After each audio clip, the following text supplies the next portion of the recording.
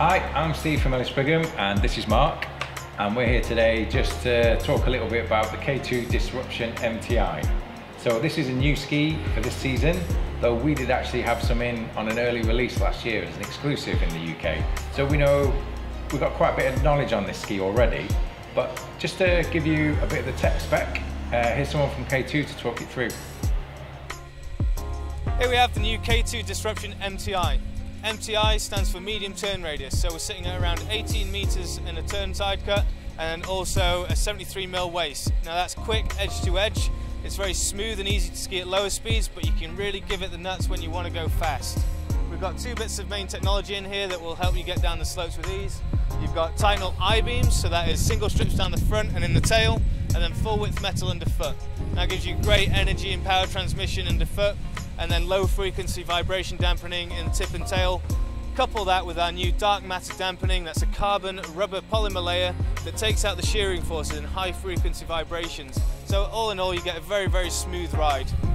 Ideally targeted at a high performing skier looking to stay on the piste, um, someone that's going on a couple of weeks a year and generally just enjoying every colour of run. Our tester feedback has been outstanding and that was from across a, a wide variety of skier abilities and types. Okay, so now you've got some lowdown on the ski, we're going to tell you a little bit about how we felt when we were skiing it. So first thing I should say is this is our runner-up in the ski uh, ski of the year in the piste category. So it's obviously a good ski, but here just we're going to give you a little bit more information as to why we feel it is so good. So Mark, first of all, um, you were skiing this. What did you think? Where were you skiing it? How was it? Um, so a little bit about my skiing. Uh, I'm quite lazy, quite a fast skier. Um, and um, this ski kind of ticked all the boxes for me. Um, super solid, very smooth, um, not overly tiring either. So it suited me down to the ground. Uh, piste was pretty firm, a little bit choppy, but there was no problem on these. What about you? How did you feel on them? Yeah, um, I'm probably skiing it a little bit slower than Mark. Um, but so I like the fact that it feels really solid underfoot. You get a lot of grip from the ski, but the speed rockers just making it a little bit easier in and out of the turn.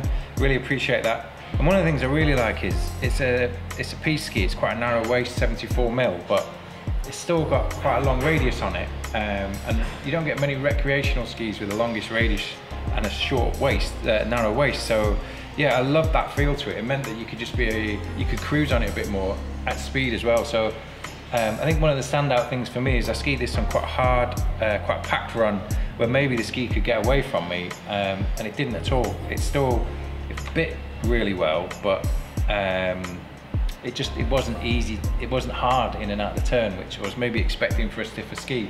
So I really enjoyed that. Um, I think I also quite like the fact that K2, it's not like a typical ski brand and they're really sort of showing where they come from here. One with the name Disruption and two, the fact that it's not full of leery graphics. Uh, and also it's got dark matter dampening.